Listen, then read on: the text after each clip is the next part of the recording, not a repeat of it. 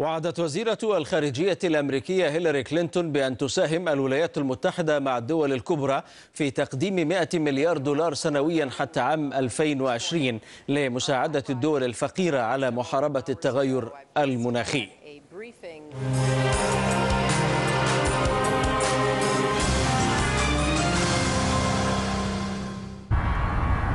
أجواء ثلجية صاقعة تستقبل قادة العالم عند وصولهم إلى مطار كوبنهاجن وربما كانت هذه دلالة على مدى تأزم الأمور في مؤتمر قمة المناخ والتي وصلت إلى درجة استدعت مشاركة وزيرة الخارجية الأمريكية هيلاري كلينتون وتقديمها الاقتراح المالي لحث الأطراف المختلفة على التوصل إلى اتفاق.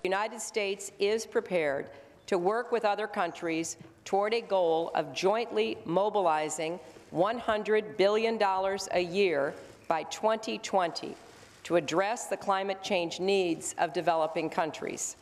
أما الشروط الأمريكية لإنشاء مثل هذا الصندوق المناخي فهي أن يخصص ريعه لحماية الغابات وتأقلم الدول الفقيرة جدا مع التغيرات المناخية وهذا تلميح واضح باستثناء الصين التي وصفتها كلينتون بأنها ثاني أكبر اقتصاد في العالم. وثانيا أن تتوصل الأطراف هنا إلى اتفاق عريض وبمشاركة النظم الاقتصادية الرئيسية في العالم. وثالثا أن تتخذ إجراءات فورية من قبل الجميع للتعامل مع مسببات التغيرات المناخية. وأخيرا وليس آخرا أن تمارس الشفافية في التطبيق من خلال نظم تحقق دولية وهو أمر ترفضه الصين والهند معها. I know there's been much discussion here on, on how money is overseen, how we can be sure that the parties to this convention are really in, in control of the financial resources that, uh, that are at their uh, at their disposal.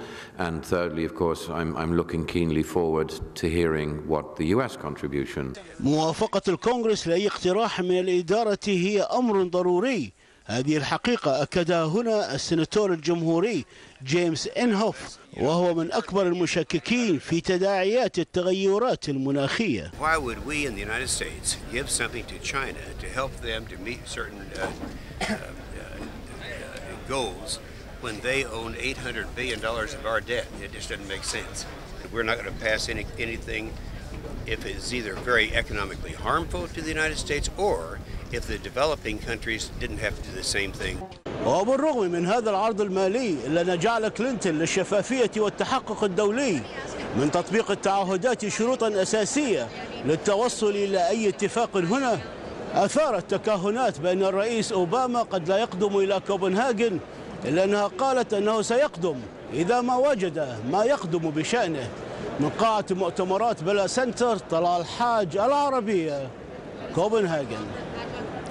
ويبقى معنا طلال الحاج موفدنا إلى كوبنهاجن. طلال إلى أين تتجه الأمور في القمة؟ إلى فشل كما يرى البعض أم إلى توصل لاتفاق؟ في واقع الأمر خرجت لتو من اجتماع لبعض الصحفيين مع الأمين العام بان كيمون وأعلن لنا عن تفاؤله بالتوصل إلى الاتفاق. سألته ماذا لما إن لم نتوصل إلى الاتفاق هنا فقال لا بد أن نتوصل إلى اتفاق وسنتوصل إليه. هناك تفاؤل كبير من قبل العام بان كيمون قال أيضا أنه للأسف أن هذه المحادثات بدأت بصورة بطيئة ولكن مشاركة 130 قائد من العالم سيسارع فيها في خلال 24 ساعة. القادمة. الليلة ستكون طويلة من المفاوضات ولكنه متفائل جدا بالتوصل إلى اتفاق يظهر أنه يعلم شيئا لا أعلمه أنا. قال أنه لم يتمكن 130 رئيس دولة لم يتوصل إلى اتفاق فمن يتمكن؟ هذا كان جوابه لي على سؤالي. تحدثت بعد ذلك إلى روبرت أور المستشار الخاص للأمين العام وكبير المفاوضين بالنسبة للأمم المتحدة في مجال التغيرات المناخية. فأكد لنا أن عملية تحديد المئة مليار دولار من قبل الأمم المتحدة أعطى ديناميكية جديدة لهذه المفاوضات وهذا كان فعلا أيضا ما قاله الأمين العام قبل, قبل ذلك.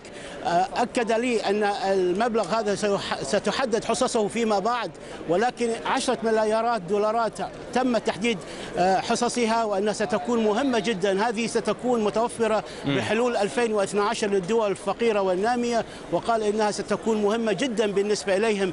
أما ال 100 مليار دولار فهذه ستكون متوفرة بحلول عام 2020 وصف المشاركة تاريخية لم يسبق لها مثيل بالنسبة للقادة وقال أنها ستكون ليلة طويلة. ناقشنا نقاط محددة تهدد بإفشال هذه المحادثات مثل عملية إصرار الولايات المتحدة على الشفافية.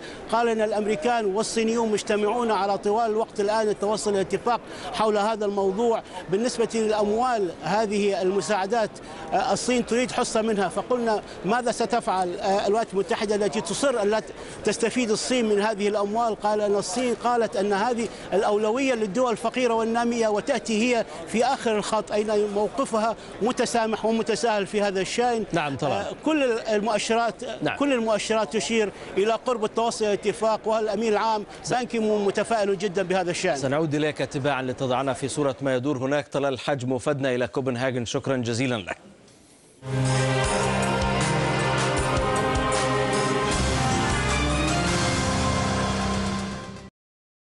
أفاد مراسل العربية في كوبنهاجن أن الأمين العام للأمم المتحدة بان كيمون متفائل جدا بتوصل رؤساء الدول المشاركة في قمة المناخ بتوصلهم إلى اتفاق على عكس ما كان يتوقع الكثيرون.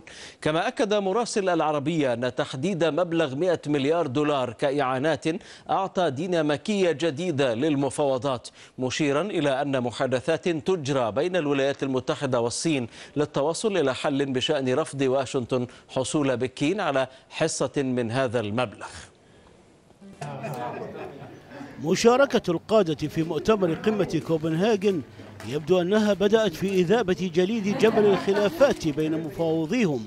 فوفقا لراعي المؤتمر الأمين العام بان كيمون فإن المحادثات بدأت بطيئة إلا أنها تسارعت كثيرا وأنها بالرغم من تعقيدها ستوصلنا إلى اتفاق. I have not seen anything that indicate we cannot seal the deal in Copenhagen. There are more than 130 world leaders are gathered here. If they cannot seal a deal, who can?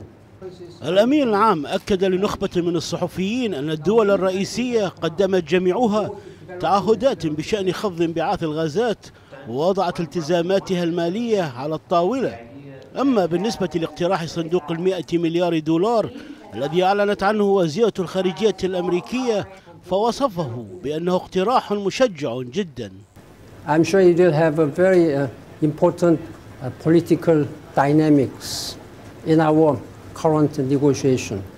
وقبل خروج الأمين العام من القاعة سألته العربية ماذا إن لم نتوصل إلى اتفاق في كوبنهاجن فأجابني بأنه لا بد لنا من التوصل إلى اتفاق We have to have a deal. جلسنا بعد ذلك للحديث إلى كبير مستشاري الأمين العام لملف التغيرات المناخية الذي أكد لنا أن حلولا أوجدت الآن لعدة نقاط معلقة They are working together and they are working hard together on this. Um, that is extremely encouraging. Uh, the Chinese position is known, the U.S. position is known. The fact that they are engaged in ongoing and extensive discussions on this are extremely hopeful, and both sides have said they expect a deal. Countries. كبير مستشاري الأمم المتحدة للتغيرات المناخية أكد العربية ثانية أن قمة كوبنهاجن سيتمخض عنها اتفاقية سياسية تاريخية من قاعة مؤتمرات بلا سنتر طلال حاج العربية كوبنهاجن.